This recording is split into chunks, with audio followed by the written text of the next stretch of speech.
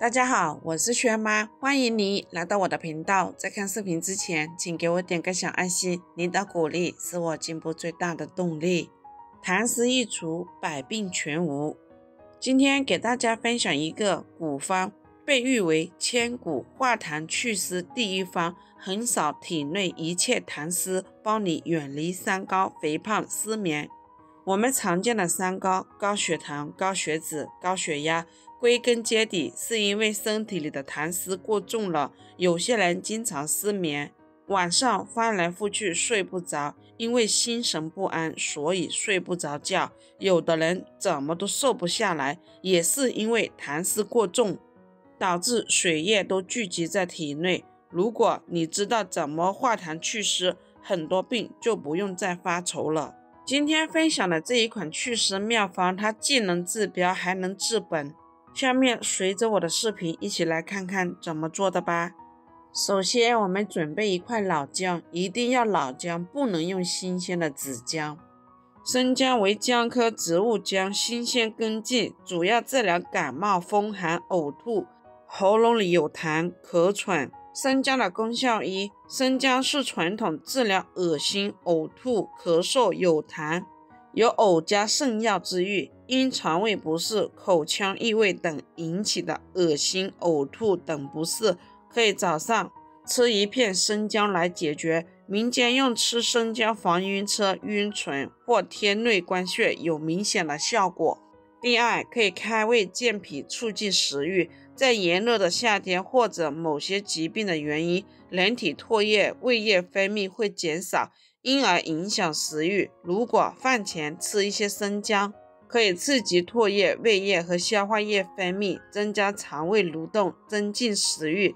这就是人们常说“冬吃萝卜，夏吃姜，饭不香，吃生姜”的道理。第三，降温提神，在炎热的时候有兴奋、排汗、降温提神的作用。对一般暑热表现为头晕、心悸、胸闷、恶心等病人。适当喝点生姜水，大有裨益。中国传统的防暑中成药人丹就含有生姜成分，其作用就是健脾提神醒脑。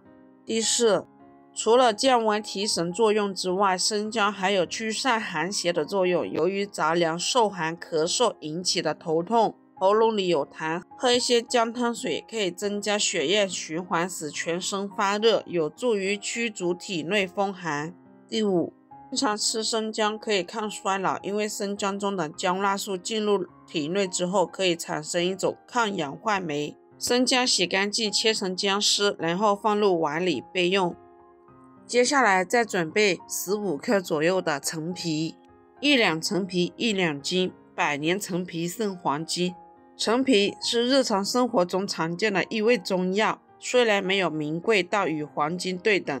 但陈皮的药用价值确实让人惊叹，放置的时间越久，它的药效会越强，故名陈皮。古人认为陈皮可以理气健脾、燥湿化痰，历代医学家把陈皮看作治疗肺脾痰湿的良药。陈皮的功效与作用一，可以抗氧化，黄酮类化合物和多糖是陈皮的主要成分，它们具有很强的还原性。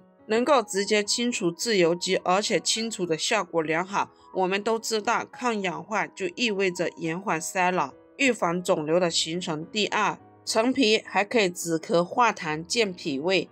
陈皮自古便为养生保健之佳品，素有“千年人参”“百年陈皮”之美誉。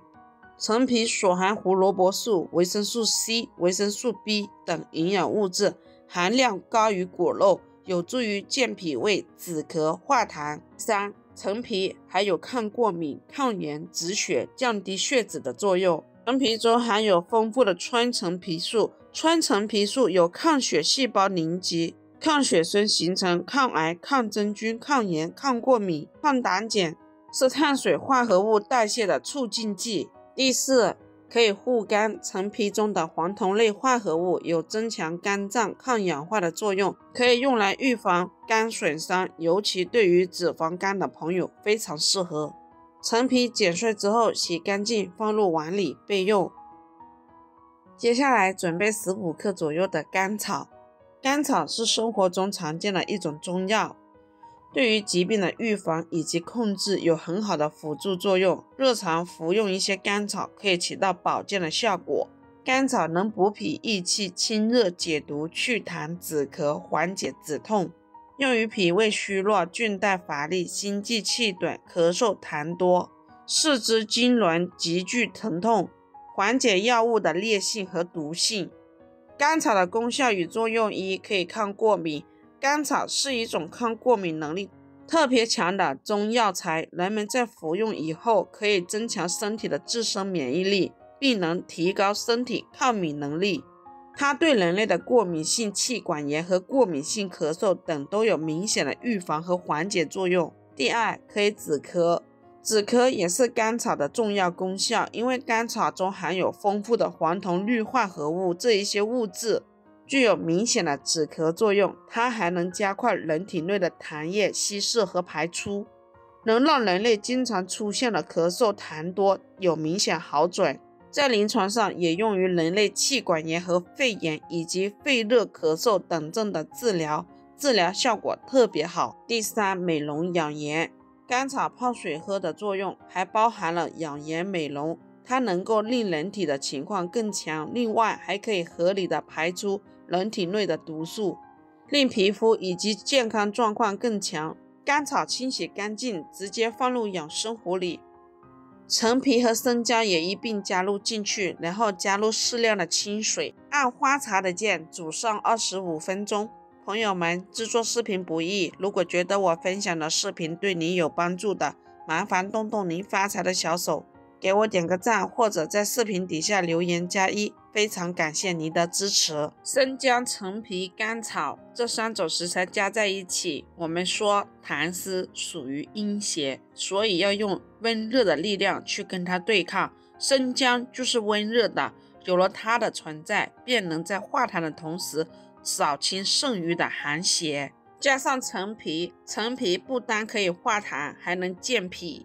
中医有一句话叫“脾为生痰之源”，脾的运化功能太弱了，就会源源不断的生成痰湿。你光化痰没用，还得健脾。